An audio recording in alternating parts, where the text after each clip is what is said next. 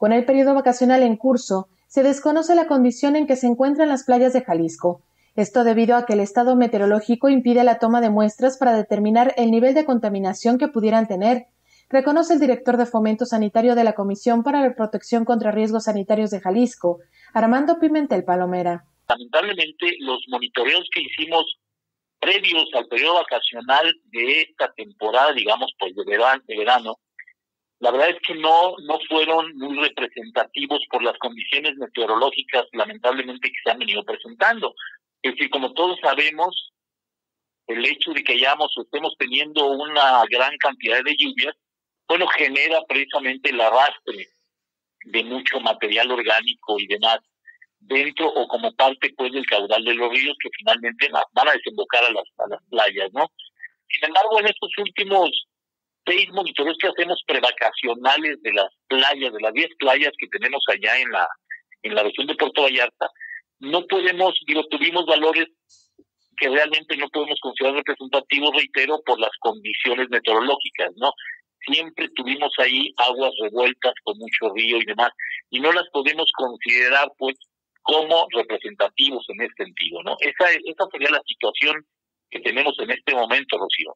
Son 10 las playas las que monitorea la Coprisjal. Yelapa, Quimixto, Las Ánimas, Mismaloya, Playas Gemelas, Los Muertos, Río Cuale, Camarones, Palmas y Oasis.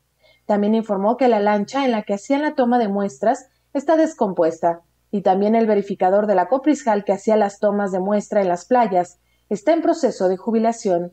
Aquí ahorita nada más tenemos un problema, eh, creo que el motor tuvo alguna falla pero estamos teniendo el apoyo precisamente de la Marina. Parece que el, motor de la, de la lancha que tenemos tuvo alguna avería, entonces está en reparación. Pero de todos modos, siempre hay una gran discusión por parte de la Marina para apoyar precisamente esta actividad, porque finalmente, bueno, forman parte precisamente del Comité Interestatal de Playas. ¿Desde cuándo eh, tiene fallas este motor? No, esto se me lo reportaron apenas de hace más o menos tres meses. Pimentel Palomera informa que deben esperar para hacer las tomas de muestras de las playas para determinar si son o no aptas para uso recreativo, pero adelantó que por la cantidad de residuos orgánicos que arrastran y aguas residuales, no hay que tenerles mucha confianza. Recomienda a los vacacionistas estar muy pendientes de lo que se informa directamente en cada playa.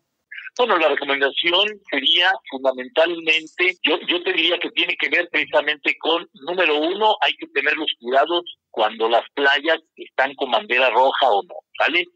Ahora, evidentemente, si tú vas a una playa en donde hay escurrimientos de ríos, lo recomendable sería simple y sencillamente pues tratar de abstenerse. Si tú vas, por ejemplo, a las playas de repente donde desembocan los ríos, por ejemplo, el río Ameca o el río Cuale, puedes ver incluso en la propia agua del mar cómo cambia de color, en lugar de estar de color, no sé, clara, azulita, sí se ve revuelta el agua. Entonces, evidentemente, pues no sería muy recomendable estar nadando en aguas con estas características. Ese sería el asunto no no tenemos o en este caso como no hay condiciones adecuadas pues no podemos las muestras por lo mismo porque sabemos que van a van a salir alteradas no en este momento. Recuerda que las afecciones a la salud por nadar en aguas con materia fecal u orgánica son tres dermatológicas en vías respiratorias y gastrointestinales. Para señal informativa Rocío López Fonseca